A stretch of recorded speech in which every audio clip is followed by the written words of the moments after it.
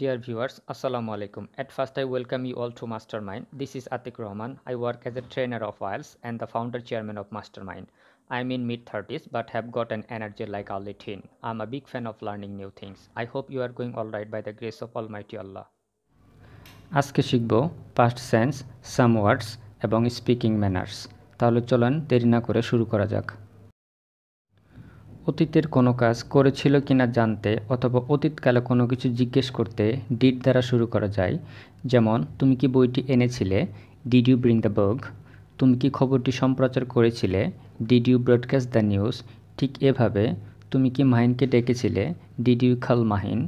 তুমি কি একটি phone কিনেছিলে? Did you purchase a phone তুমি কি সব কিছু হিসাব করেছিলে? ডিড ইউ ক্যালকুলেট এভরিথিং তুমি কি তার ছবি ধারণ করেছিলে? Did you capture her photo যদি পজিটিভ রিপ্লাই দিতে চান, তাহলে বলা যায় ইয়েস আই ডিড আর যদি নেগেটিভ রিপ্লাই দিতে চান, তাহলে বলা যায় নো আই ডিডন্ট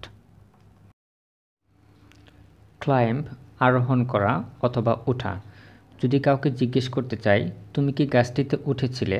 জিজ্ঞেস করার ক্ষেত্রে ডিড দ্বারা শুরু করা যায় did you climb the tree যদি পজিটিভ আনসার দিতে চান, সেক্ষেত্রে বলতে পারেন ইয়েস আই ডিড আর যদি নেগেটিভ আনসার দিতে চান, তাহলে বলা যায় নো আই ডিডন্ট যদি সময় জানতে চান, সময় জানার জন্য ওয়ান ব্যবহার করা হয়, যেমন, তুমি কখন গাছটিতে উঠেছিলে? When did you climb the tree answer দিতে পারেন I did in the afternoon অথবা I did in the morning I did in the evening ঠিক এভাবে। আবার যদি কারণ জানতে চান, কারণ জানার জন্য ওয়াই ব্যবহার করা হয়, যেমন, তুমি কেন গাছটিতে উঠেছিলে? Why did you climb the tree কিছু আম পারতে টু ফ্লাগ সাম ম্যাঙ্গোস আবার যদি জিজ্ঞেস করতে চান, তুমি কতবার গাছটিতে উঠেছিলে? কতবার জানার জন্য হাও অফেন ব্যবহার করা হয়। How often did you climb the tree answer দিতে পারেন আই ডিড ওয়ান্স ওয়ান্স মানে একবার। টয়েস মানে দুইবার থ্রি টাইমস তিনবার বা ফোর টাইমস চারবার বা ফাইভ টাইমস পাঁচবার। আরেকটি শব্দ নিচ্ছি কালেক্ট সংগ্রহ করা। যদি জিজ্ঞেস করতে চাই, তুমি কি বইটি সংগ্রহ করেছিলে? Did you collect the book positive answer দিলে yes I did negative answer দিলে নো আই ডিডন্ট আবার যদি জানতে চাই, তুমি কোথা থেকে বইটি সংগ্রহ করেছিলে? কোথা থেকে জানার জন্য?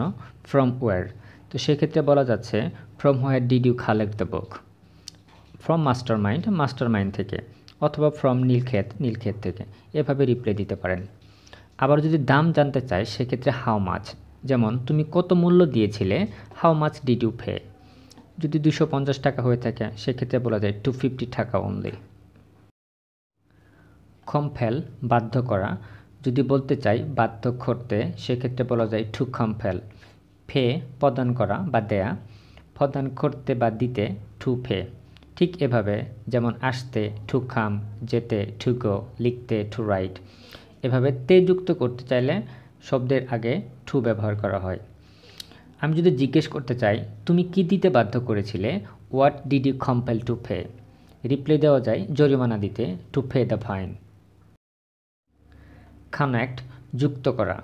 কীভাবে জানতে হাউ ব্যবহার করা হয়, যেমন তারা কীভাবে যুক্ত করেছিল হাউ ডিড দে কানেক্ট তারা কীভাবে শহর দুটিকে যুক্ত করেছিল how did they connect the two towns যদি রিপ্লাই দিতে চাই, সেতু দিয়ে বাই দ্য ব্রিজ আবার যদি বলতে চাই, কোন সেতু দিয়ে বাই হুইচ ব্রিজ তারা কোন সেতু দিয়ে যুক্ত করেছিল by which bridge did they connect Jamuna সেতু দিয়ে by Jamuna bridge conspire against কারও বিপক্ষে চক্রান্ত করা। যদি জিজ্ঞেস করতে চাই, লিজা কি তোমার বিপক্ষে চক্রান্ত করেছিল? Did Liza conspire against you positive answer দিলে yes she did negative answer দিলে নো শি ডিডন্ট মেয়েদের ক্ষেত্রে শি ব্যবহার করা হয়, ছেলেদের ক্ষেত্রে হি ব্যবহার করা হয়। আবার যদি জানতে চাই, কার সাথে? উইথ হোম লিজা কার সাথে তোমার বিপক্ষে চক্রান্ত করেছিল? With whom did Liza conspire against you যদি বলতে চাই, তার মায়ের সাথে উইথ হা মাদা কারোর সাথে বোঝাতে উইথ ব্যবহার করা হয়। লিজা তোমার বিপক্ষে কি চক্রান্ত করেছিল? What did Liza conspire against you যদি বলতে চাই, আমার পরিবার থেকে আমাকে বিচ্ছিন্ন করতে to detach me from my family consult পরামর্শ করা। যদি জানতে চাই, তুমি কার জন্য পরামর্শ করেছিলে? কার জন্য জানতে? For whom for whom did you consult যদি রিপ্লাই দেই, আমার বোনের জন্য ফর মা সিস্টার কারোর জন্য বা কোনো কিছুর জন্য হলে ফ ব্যবহার করা হয়। আরেকটি শব্দ নিচ্ছি ডিসপোজ মীমাংসা করা। তুমি কি বিষয়টি মীমাংসা করেছিলে? Did you dispose the matter positive answer দিলে yes I did negative answer দিলে নো আই ডিডন্ট চলেন এখন কিছু স্পিকিং ম্যানার শিখি। কেউ ঝামেলা করলে বলতে পারেন হোয়াট আ ম্যাস অর্থাৎ, কি ঝামেলা? কারও খবর জানতে ব্যবহার করতে পারেন how about you what's up how is everything going on অর্থাৎ তোমার খবর কি? বা কেমন চলছে? বা দিনকাল কেমন চলছে? হাউ খাম? তা কী করা হয়? কাউকে চুপ করতে বলতে পারেন, হ্যাং অন আ মিনিট। টেলিফোনেও এই ব্যাপারটা বলতে পারেন। যদি কারও আসার কথা থাকে, সেক্ষেত্রে বলতে পারেন, হি ইজ এক্সপেক্টেড টুডে। যদি কারও প্রশংসা করতে চান, সেক্ষেত্রে বলতে পারেন, he is a living legend. তিনি একজন জীবন্ত কিংবদন্তি। কেউ যদি উল্টাপাল্টা কথা বলে, অর্থাৎ কোনো অর্থহীন কথা বলে, সেক্ষেত্রে বলতে পারেন ইট মেক্স নো সেন্স অর্থাৎ এর কোনো অর্থ হয় না। ইট গোজ উইথাউট সেইং এটা না বললেও চলে। কেউ যদি বাড়তি কোনো কথা বলে, সেক্ষেত্রে বলতে পারেন it goes without saying if you do care অর্থাৎ আপনি যদি চান, এটাও ব্যবহার করতে পারেন বিভিন্ন ক্ষেত্রে।